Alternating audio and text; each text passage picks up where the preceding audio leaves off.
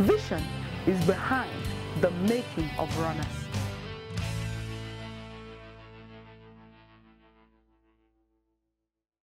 Praise the Lord. I'd like to welcome you to Thursday, the fourth day of January 2024. Our topic today on the Seeds of Destiny is Praise, a key to accessing your divine package in 2024. Praise the Lord. The Bible says, Let the people praise thee, O Lord. Let all the people praise thee. Then shall the earth yield her increase, and God, even our own God, shall bless us. Psalm 67, verse 5 and 6. Thought for the day the earth is programmed to yield her increase for those who understand the language of praise and thanksgiving. Previously, we saw that there is a divine allocation for your life this year, 2024. God has already loaded into this year, 2024, for you benefits you need in order to fulfill His purpose for your life.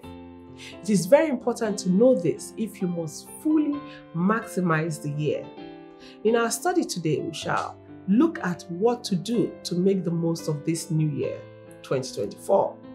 Identify what to thank God for in the previous year to maximize this new year, you must identify what to thank God for in the previous year and years, especially the immediate past year 2023.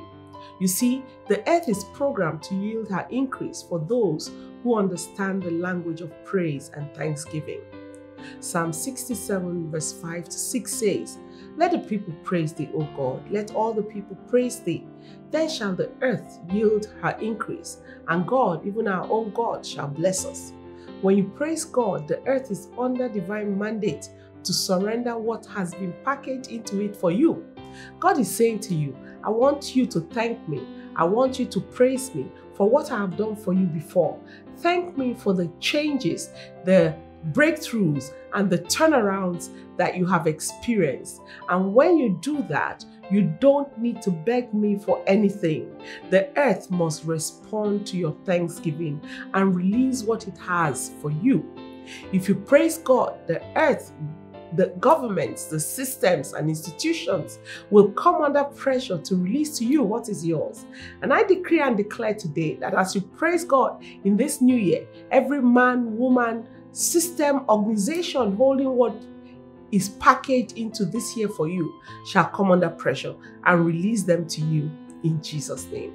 Remember this the earth is programmed to yield her increase for those who understand the language of praise and thanksgiving. Praise the Lord. What's our assignment today? Number one, make up your mind to praise God tirelessly this year. Number two, always put creation and systems under pressure by cons consistent praise to access what is meant for you. Let's pray. Say, Thank you, Lord, for your word to me today. I receive the grace to praise you tirelessly so I can access what the earth has for me. Oh Lord, in Jesus' name, praise God. For daily reading today, we're reading Genesis 16, 17, 18, 19, and 20. You Remember, we go all the way at the beginning of the year, especially during the prayer and fasting.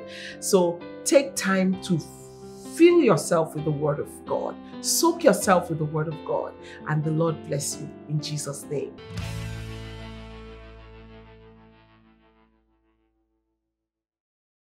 I'd like to pray for you today. You want to make Jesus the Lord of your life? Simply pray this after me. Say, Lord Jesus, thank you for dying for my sins. I know I'm a sinner. I need your help. Please come into my life. Be the Lord of my life. Wash away my sins. Make me a new person. From today, I turn my back on sin. I will live to please the Lord. In Jesus' name, amen. Praise the Lord. The Lord bless and keep you and cause his face to shine on you. And before I close, I want to wish you a very happy birthday. It's your day today, and God's blessings are being unleashed upon you in no small way in the name of Jesus. Happy birthday. God bless you in Jesus' name.